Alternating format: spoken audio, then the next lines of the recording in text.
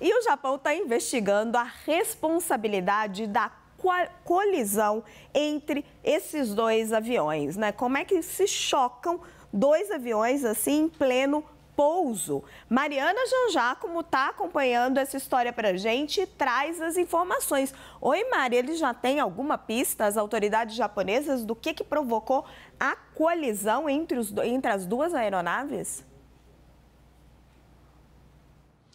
Oi, Raquel. Olha, a causa dessa colisão ainda está sendo investigada e agora há pouco a Japan Airlines emitiu um comunicado dizendo que tinha recebido autorização sim da torre de controle para pousar. Então, a Japan Airlines disse que o pouso tinha sido autorizado. Agora, a gente ainda não ouviu do governo japonês. O que aconteceu, Raquel, como você bem disse, é que o avião, esse Airbus da Japan Airlines, já tinha pousado quando começou a pegar fogo. Então, e as pessoas tiveram que sair do avião. As pessoas ficaram surpresas porque achavam que estava tudo bem bem, o avião já tinha pousado e aí, de repente, começaram a ver o fogo fora da janela, começaram a sentir o cheiro de fumaça e tiveram que sair ali às pressas. Né? Os 379 passageiros conseguiram sair a tempo desse avião. Quatro foram levados ao hospital, foram 17 feridos. Agora, no avião da Guarda Costeira, infelizmente, cinco pessoas morreram, cinco integrantes da Guarda Costeira e o piloto está no hospital em estado grave. Isso enquanto essa investigação agora acontece acontece? E esse avião da Guarda Costeira, Raquel,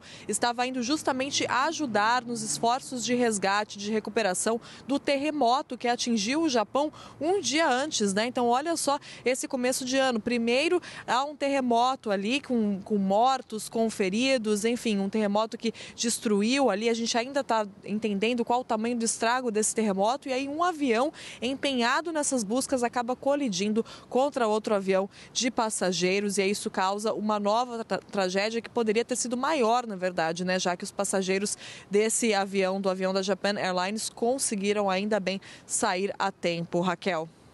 Impressionante, Mariana, impressionante as imagens, impressionante o protocolo de resgate dessas pessoas, elas saindo ali pelo, pelo, pela, pelo, tá me faltando a palavra, pelo escorregador ali inflável com o restante da aeronave toda pegando fogo.